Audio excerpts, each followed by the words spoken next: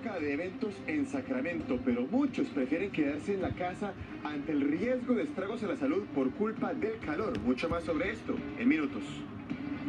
Además, hablamos de las famosas pirámides. Ciertamente atraen la participación del consumidor.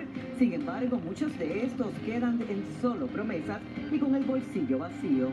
También estaremos hablando sobre el seguro social, las estafas que han surgido y el robo de identidad, además de la importancia de entender cómo protegernos. De esta manera iniciamos una edición más de Noticias 19 Univisión a las 6 de la mañana en este 15 de julio del 2024. Y aquí en Mis Pales estamos viendo ese bello amanecer en la ciudad de Sacramento, una fresca mañana.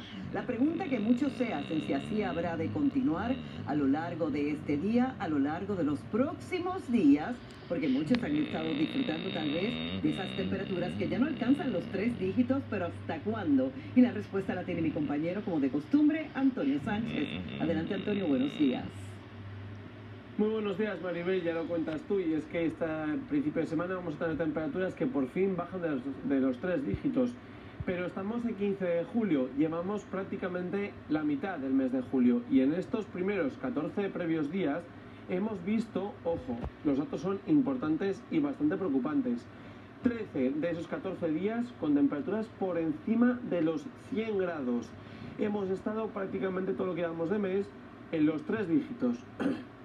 La temperatura más alta se dio el, los días 6 y 11 de julio respectivamente con máxima en los 113 grados, un valor bastante elevado que de hecho marcó récord esos días. Pues que además también tuvimos dos días de récord, el 5 y el 12, el pasado viernes, en los que de manera respectiva tuvimos 110 y 111 grados. Así que unas temperaturas verdaderamente elevadas en esta primera mitad del mes de julio y como comentabas Maribel, la noticia es que nos despedimos del calor intenso, pero ya aviso que va a ser únicamente por unos días.